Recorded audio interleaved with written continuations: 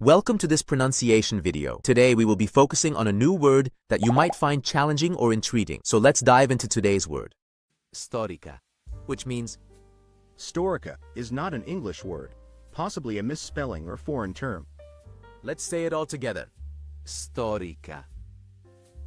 Storica. Storica. One more time. Storica. Storica. Storica. Thank you for joining us on this adventure in pronunciation. Remember, language is a journey, not a destination. Keep exploring, experimenting, and expanding your linguistic horizons. We'll see you next time.